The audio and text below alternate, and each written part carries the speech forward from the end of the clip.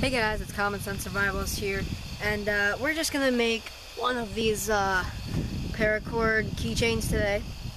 Um, as you can see, it's got two key rings on it, and um, it's just gonna be made out of basic paracord, basic 550. So um, I will sit you guys down, and we can get right to it. So hold on here a second. So what we will need to make our paracord keychain is just some scissors here or a knife, whichever is sharper or works better. Um, two key rings, as you can see.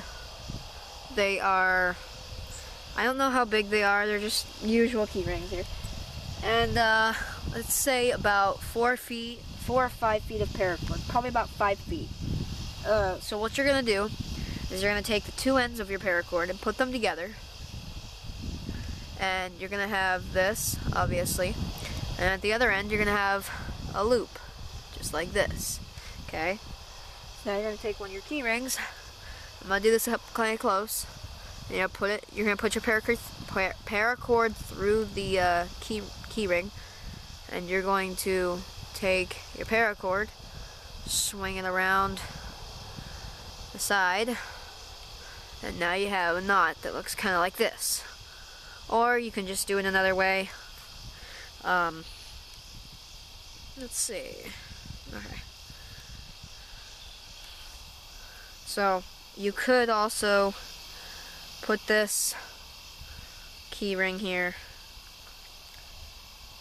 on the paracord if I can get it through there. There we go. And then you take your key ring, put it all the way down at the end. Now take your two ends and put it through the loop and pull it up tight and you'll have something that looks exactly the same as what we did before. I like to do it the other way, the first time, the first way I showed you because it's a lot quicker, it's a lot easier too. So, uh, so you'll have this little knot here that gets tighter the more you pull on it. The more you pull on this, the tighter it'll get. So don't worry about it coming undone. Now with your other keychain ring, if you guys know how to make a paracord bracelet, that's basically how you're going to do this. Except with these key rings. There's some geese in the background there. Sounds like just one. So, so yeah. So then you have two, one key ring here and one key ring down here. So what you'll do is you'll figure out how long you want it to be. I want mine to be about six inches or so, maybe about five inches. Five inches looks good to me. About that long right there. And then you'll take one piece of paracord, put it over top of these other two strands, like this. Hold your key ring in place. Make a loop like this here. Okay. Now take your other piece. Pull it. Dang, mosquitoes are bad today. Uh, it is about September though. Um, so now you're gonna take your other piece, put it underneath the bracelet or the keychain. Sorry, I say that every time, every single time I make a video about this. And then you'll have. If you saw what I did there, I pulled the tail that was on this side. The tail that was on this side, I pulled it and put it over here. And now we're just gonna pull these two knots tight.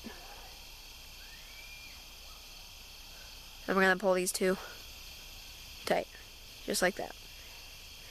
So now, you're gonna take it again, make a loop, put it under, pull it through the loop. I'm gonna show that to you one more time. Gonna make a loop, put it under the tail, pull it through the loop, and then pull tight. And then you just do that, and I will show you what you get when you get down here. So hold on a second. Um, uh, skip to sometime. so once you get down here to the uh, to the end, where you can't go any farther or further, whichever you want to say. Um, as you can see, that's about where I'm at. So what you'll do is you'll just take some scissors and you will cut your paracord about half an inch from the keychain itself. And you only want to do that to one side before you go on to the next one. And you want to do that to one side before, you want to do that to one side and then melt it. And as you can see, I have used the lighter a few times because it's got black stuff here on the front. But uh, you want to melt your paracord before you cut and melt the other side. Because if you cut and melt the other side first, okay, if you cut both sides at the same time, chances are pretty good that one of your knots are going to come undone and you're going to have to go back one space. And what I like to do is I like to cinch it up. What I do is I pull on the uh, paracord right here and I grab onto the ring and I just pull on the paracord. And what it does is it cinches it up and gives you more space. So if you want to waste less paracord and put more on it, then that's what you can do. So you'll just take your lighter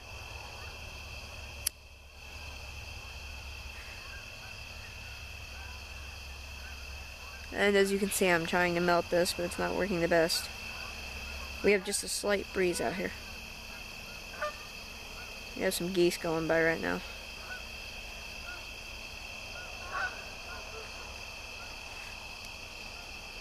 Alright, now you just want to take a paracord that's been melted and just smush it against itself.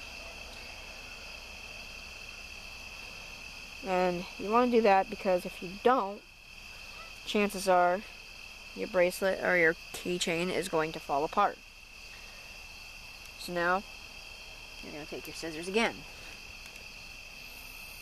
And you'll cut about a half inch from the keychain itself. Man, the mosquitoes are horrible out here today. I got them biting me all up. That's why I'm moving around so much and doing this and doing that. But now you'll take your lighter again and melt your paracord here. Let me move to the other side so I can try to block the wind as best as I can.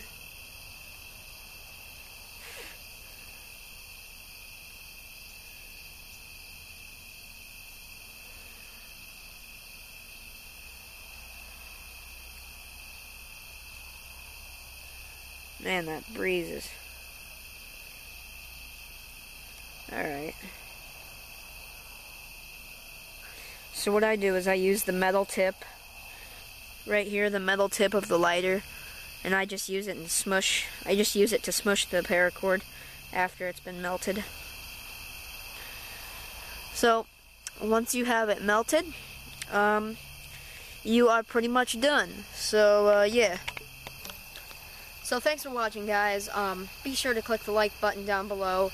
And don't forget to subscribe for more awesome survival videos. Um, I'm planning on doing a review on this on an emergency blanket I got from Walmart about a month ago. I haven't done it yet, but I'm planning on making a review on it. Um, no, I haven't actually tested it out, so I will have to do that here before too long. And stay tuned for more um, paracord bracelet videos. Thanks for watching. I'll see you guys later. Bye.